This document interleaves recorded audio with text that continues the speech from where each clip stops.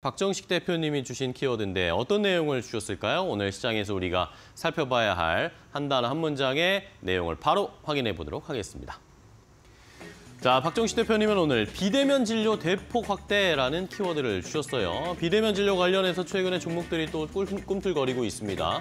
이슈가 있고 정책이 있고 하다 보니까 이게 내년에 뭔가 조금 더 모멘텀 받을 수 있지 않을까라는 기대도 해보게 되는데 박정식 대표님 이 비대면 진료 관련해서 저희가 투자 전략을 어떻게 좀 세워야 될까요? 네, 최근에 먼저 좀 이슈부터 한번 살펴보도록 하겠습니다. 네, 정부가 일단 재진환자 중심의 비대면 진료 이 시범 사업을 실시한다라고 발표를 하였습니다. 야간이나 휴일에 이 초진인 경우에도 이 비대면 진료를 받을 수 있도록 허용을 한 상황인데요. 일단 이제 이렇게 초진 비대면 진료를 허용하는 지역도 일부, 사, 일부 상간 지역에서 전체 시군구의 39%에 해당하는 응급 의료 취약 지역까지 크게 확대를 한, 할 예정이고 이로 인해서 보건복 보건복지부가 최근에 이러한 어, 대폭 확대 방안을 이 비대면 진료 사업 보완 방안을 오는 15일 날 어, 본격적으로 시행할 예정이라고 합니다. 그래서 어제부터 이 비대면 관련 종목들이 일정 부분 지금 움직이고 있는 상황이어서 어떻게 좀 어, 기술적으로 접근을 해야 될지 한번 살펴보도록 하겠습니다. 네, 알겠습니다. 자, 이렇게 원격 의료 관련해서 여러 가지 정책과 모멘텀들이 발생을 하고 있습니다. 그렇다면은 예, 주가가 조금씩 움직이기 시작한 종목들 어떤 것들이 있는지 또 내년에까지 우리가 살펴볼 만한 종목 두 가지를 골라주셨을 텐데요. 일단은 박정식 대표님 첫 번째 종목은 어떤 거 보시나요? 네, 첫 번째로는 인성정보라는 예, 기업입니다. 일단 비대면 관련 이슈가 나올 때마다 좀 가장 강하게 움직이는 종목이 되지 않을까라고 생각을 하고 있고 IT 인프라 사업을 영위하고 있는 상황입니다. 이 종속회사의 이 하이케어넷을 통해서 헬스케어 사업 그리고 어, 인성 디지털을 통해서 소프트웨어 도매 사업 그리고 아이넷 뱅크를 통해서 네트워크 장비 도매 사업을 영위하고 있는데 이 대학병원과 인공지능 업체들과 협력해서 이 재외국민을 국민을 대상으로 한 의료 원격 의료 서비스 플랫폼 국책 과제를 진행 중에 있어서 요 관련주로 최근에 좀 부각을 받고 있습니다. 하지만 좀 이틀 연속 주가가 조금 이제 강하게 움직이고 있는 그런 형국이라서 여러분들이 지금 가격에 공격적으로 접근하기보다는 일정 부분 눌렸을 때 기술적으로 접근하시는 것이 좋을 걸로 판단이 되는데요. 일단 좀 눌리면은 3,470원에서 2,450원 정도 자리까지 여러분들이 좀 분할 매수로 접근을 한번 해보시 보시는 것이 좋을 것 같고 어, 재차 상승이 나온다면 이전 고점인 3,800원 정도 자리까지 한번 노려보실 때 어, 생각보다 조금 강력한 흐름이 나타나게 된다면 어, 4,600원 정도 자리까지도 한번 바라볼 수 있는 여력은 이슈적으로 있지 않을까 생각해 봅니다. 네, 좋습니다. 자, 인성정보 첫 번째 종목으로 소개를 해주셨고 오늘도 4% 넘게 강한 반등이 좀 나오는데 지난 금요일에도 급등했죠. 20% 넘게 거의 어, 상한가 근처까지 가는 모습도 보였는데 조금 더 눌렸을 때 접근을 해보자라는 의견으로 인성 정보 첫 번째 확인해봤고요. 자, 한 종목 더 보겠습니다. 어떤 종목인가요? 예, 두 번째 종목은 지금부터 조금 이제 분할 매수 관점으로도 가도 좀 무방하지 않을까라고 생각되는 종목인데요. 바로 비트 컴퓨터입니다. 네. 자, 의료 정보 사업 및 디지털 헬스케어 그리고 아, IT 교육 사업을 영위하고 있는 업체인데 이 원격 의료 시스템인 이 비트케어 플러스와 그리고 독립 키오스크 형태인 이 비트케어 스테이션 그리고 원격 건강 모니터 시스템인 비트케어 제품 라인업을 현재 보유하고 있습니다. 그리고 이러한 라인업을 기반으로 기반으로 해서 지난 2020년 12월 기준으로 이 국내외 1000개 기관의 원격 의료 시스템을 구축해서 어, 현재 1위를 어, 기록을 하고 있는 상황이고 IT 교육 분야에서도 이 비트 교육센터가 IT 교육 사업의 업계 1위 시장 지배력을 달성을 하고 있기 때문에 만약에 이제 원격 의료가 본격적으로 확 확장이 된다면 가장 좀 수혜를 볼 수 있는 그런 종목이 되지 않을까라고 생각을 합니다. 어, 이미 이제 어제 조금 강력한 상승력을 만들어냈고 오늘은 좀 일정 부분 도직격 흐름을 만들면서 조정을 받고 있기 때문에 지금 한 5,860원 이하로 여러분들이 분할 매수 관점 충분히 가실 수 있을 것 같고요. 어, 분할 매수는 저점 한 5,600원 정도 자리까지 여러분들이 어, 접근하시면 좋을 것 같고 이 상태로 다시금 단기적인 상승력이 나타난다면 어, 짧게는 때는 6,500원, 조금 이제 길게 본다면 7,300원 어, 정도 자리까지도 바라볼 수 있는 여력은 있지 않을까 생각해 보고 있습니다.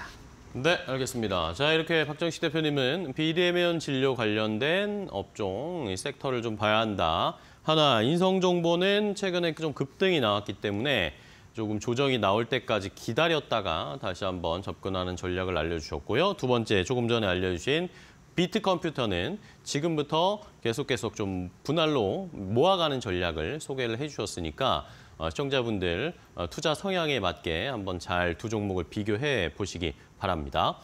자, 그렇다면 이 키워드 비대면 진료가 대폭 확대될 것이다 라는 이 키워드 아마 어, 이 이건희 부장님도 어, 뉴스도 보셨겠고 생각을 하고 계실 텐데 이 키워드 보시고 부장님은 어떤 종목을 좀 떠올리셨나요? 일단 뭐 전통적으로 강한 회사가 인성정보랑 비트컴퓨터인데 네네. 일단 뭐 지금 현재 아까 말씀하신 것처럼 저는 비트컴퓨터를 좀 더 좋게 보고 있고요.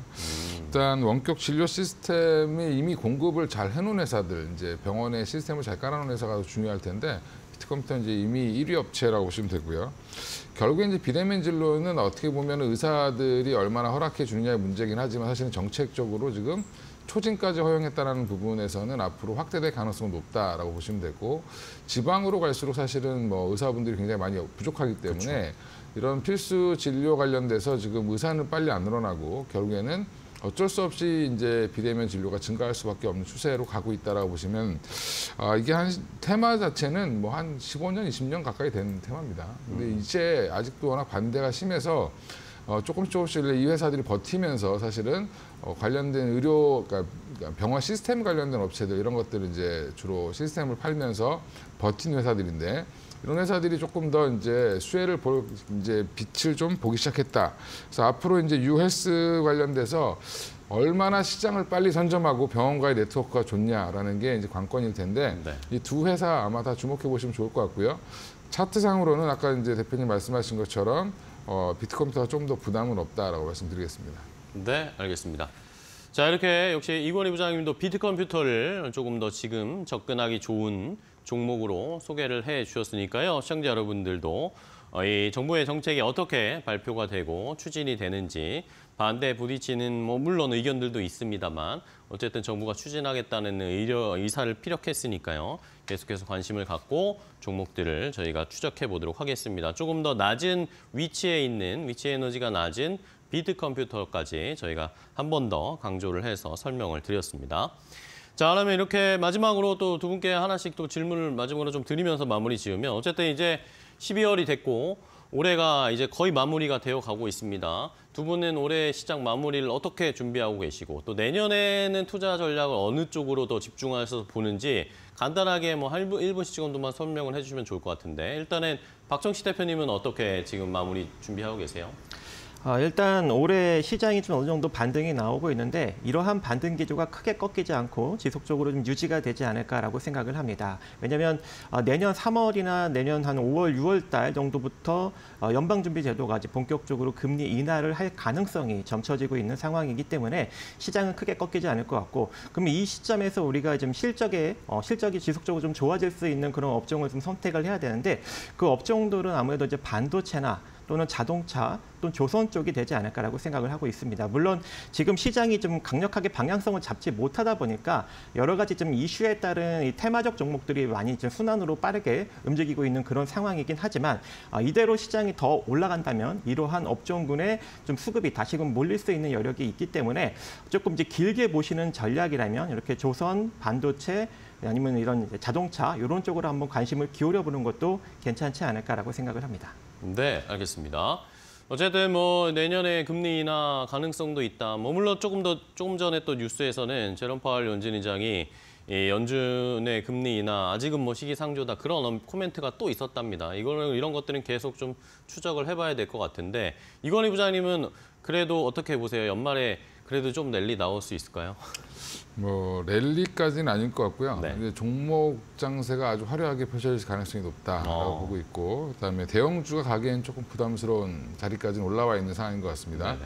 그러니까 일단 여전히 내년에 이제 성장이 기대되는 섹터에 이제 약간 몰림 현상, 순환 현상이 좀 가능, 강하게 일어날 걸로 예상을 하고 있고요.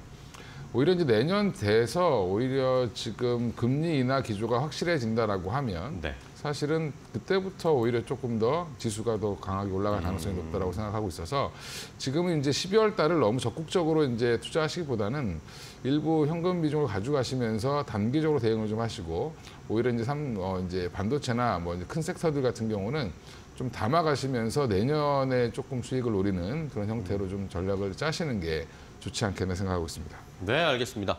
자, 결국에 두 분이 뭐 종합해서 비슷한 의견을 주셨는데 연말까지는 어쨌든 또 뭔가 시장의 분위기가 바뀌었으니까요. 활발한 뭐 종목별 순환매나 아니면 테마별, 섹터별 순환매로 저희가 수익을 좀 올리고 내년까지 길게 봤을 때 성장할 수 있는 업종이나 또 우리 시장의 전통적인 강자들을 담아가면서 채워가는 전략을 한번 저희도 추구해 보도록 하겠습니다. 시청자분들도 잘 참고해 주시기 바랍니다.